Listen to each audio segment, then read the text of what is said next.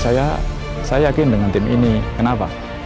Tim ini tim muda tapi punya pemain-pemain yang muda yang bagus punya ambisi punya karakter dan punya semangat dan daya, daya juang yang tinggi.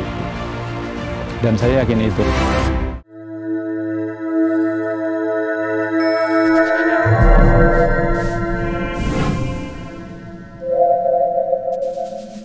Waktu itu kalau nggak salah bulan Februari, saya ditelepon sama Pak Presiden, Pak Dimama Bror, saya dan saya minta disuruh bergabung dan tanpa berpikir panjang langsung saya iakan. Karena apa? Ini tim baru punya ambisi dan ini di, dia punya brand lain, dia punya tujuan lain dalam di luar sepak bola yaitu dakwah gitu. Dan itu sesuai dengan apa yang saya inginkan. Dan tapi begitu saya bilang oke okay, saya tidak bisa langsung bergabung karena saya harus pada waktu bersamaan juga bulan Maret saya harus mengikuti kursus BFC di Bali. Dan itu harus menung, menunda waktu saya untuk bergabung dengan PSHW dan itu selama satu bulan. Dan akhirnya teman-teman main pertama Liga 2 melawan Persijap dan waktu itu teman-teman kalah. Dan waktu itu saya masih di Bali. Dan setelah saya selesai kursus B saya disuruh gabung sama Pak Presiden tapi waktu itu kondisi sudah tidak memungkinkan karena pandemi COVID-19 dan akhirnya tim diliburkan dan Liga di satu Liga 2 diliburkan. Dan akhirnya kegiatan off. Dan setelah menunggu lama terus sampai kemarin itu bulan September September akhirnya saya dipanggil lagi sama Pak Presiden saya diminta digabung dan saya datang ke Surabaya untuk melakukan teken kontrak.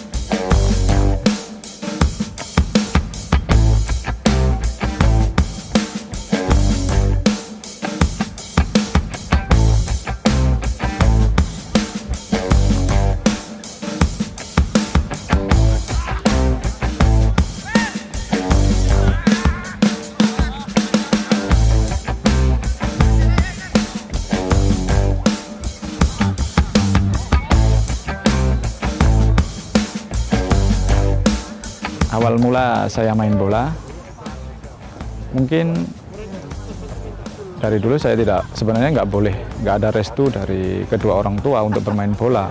Karena basic saya saya lahir di kampung lihat anak-anak di kampung itu ngaji sholat pulang ke pulang pergi itu pakai sarung dan saya tiap maghrib itu saya baru pulang dari lapangan gitu. Dan saya sebenarnya nggak boleh tapi akhirnya saya siasati gitu. Kenapa? Agar saya bisa ngaji, bisa main bola. Akhirnya saya berangkat ke lapangan itu saya sudah bawa sarung, bawa perlengkapan, ngaji semua saya bawa. Begitu saya selesai di lapangan, saya tidak langsung pulang ke rumah, tapi saya langsung ke musola atau langgar buat sholat dan ngaji. Saya kecil saya tidak pernah, saya hanya cuman sekedar main bola. Saya senang main bola, hobi, saya senang banyak teman. Dan waktu MI kalau di desa kan banyak MI kan. Saya kebetulan MI madrasah ibtidaiyah dan waktu itu kan disuruh nulis. Kamu nama alamat orang tua ibu cita-cita. Dan saya waktu itu cita-cita saya mau jadi abri dan kenapa saya mau jadi abri? Dulu kan abri orang bilang kan abri abri gitu kan. Dan saya kebetulan jadi angkatan udara. Kenapa? Uh, dulu kan mikirnya kalau angkatan udara kan kita naik pesawat dan lain-lain gitu kan. Dan itu kalau pakai baju tentara kan keren gagah gitu kan. Dan itu nah tapi mungkin dengan berjalannya waktu saya lihat saya dulu suka lihat TV sepak bola. Jam malam pun saya lihat. Jam berapapun saya lihat. Akhirnya mungkin dari itu mungkin niat saya untuk jadi pemain bola itu akhirnya semakin kuat gitu loh.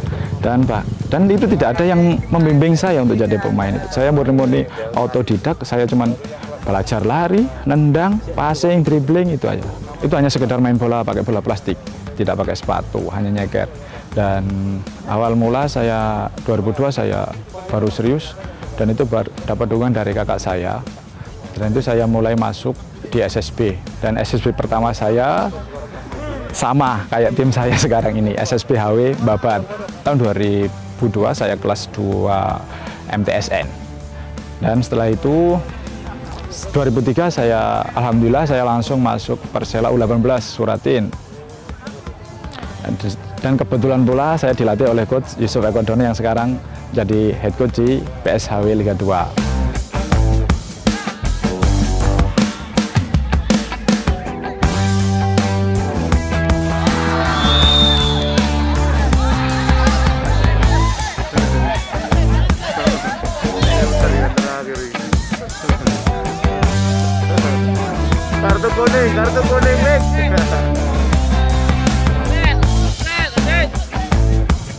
Saya gabung di tim internal Persebaya Liga Persebaya bersama Unta Krosita. tapi waktu itu saya masih main di posisi striker. Dan setelah main di Liga Persebaya Untak 2005 saya dapat panggilan dari Persela untuk magang di senior.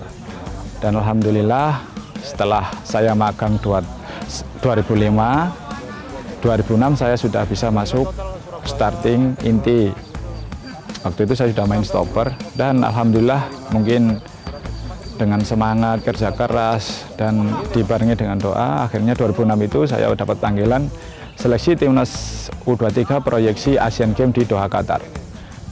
Dan alhamdulillah waktu itu saya masuk dan masuk dalam 24 atau 25 tim. Nah mungkin itu tapi saya sampai di situ terus saya kembali lagi ke Persela terus sampai 2018 dan 2018 saya ke Kalteng Putra terus 2019 kemarin saya ke Persiba Balikpapan dan tahun 2020 ini saya dapat panggilan ke untuk kembali ke PSHW.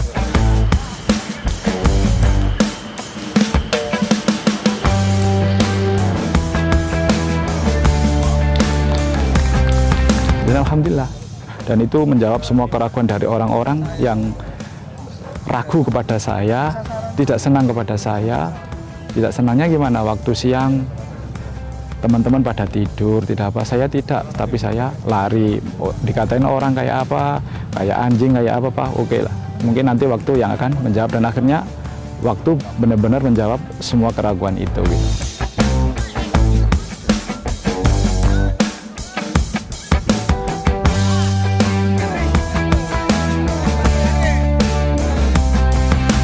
dan kesan saya setelah latihan bersama teman-teman, saya dalam hati saya, saya yakin dengan tim ini. Kenapa? Tim ini tim muda, tapi punya pemain-pemain yang muda, yang bagus, punya ambisi, punya karakter, dan punya semangat dan daya, daya juang yang tinggi. Dan saya yakin itu. Tapi lagi-lagi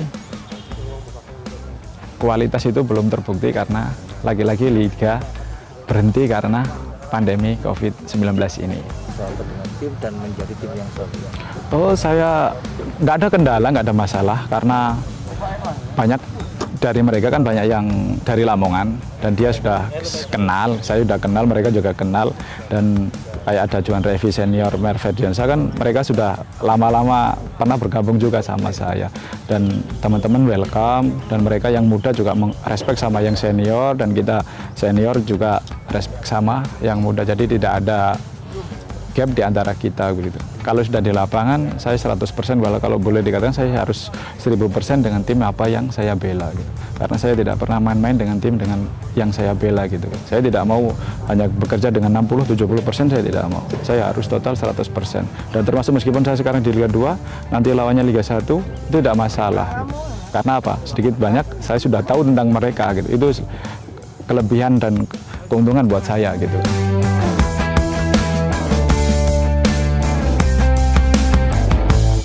Harapan saya buat PSSAW tetap tetap yakin dengan tujuannya dalam apa mengembangkan sepak bola dengan dakwah, dengan amar ma'ruf nahi mungkar, dengan mencari bibit-bibit yang ada di pelosok-pelosok Nusantara dan saya yakin PSAW tetap bisa berkibar nanti di Liga 2 dan syukur-syukur dengan doa bersama dengan dukungan semua masyarakat insya Allah suatu saat bisa promosi ke Liga 1. Amin.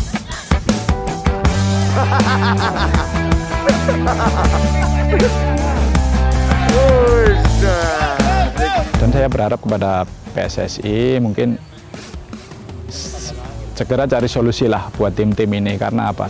Tim-tim ini sudah mengeluarkan biaya yang besar, yang banyak. Dia sudah berjuang pengorbanan waktu, tenaga, pikiran, tapi kepastian tak kunjung datang. Mungkin segera beri kepastian lah. Kalau jalan, jalan. Bulan berapa, tanggal berapa. Kalau stop, ya stop gitu. Mungkin itu aja.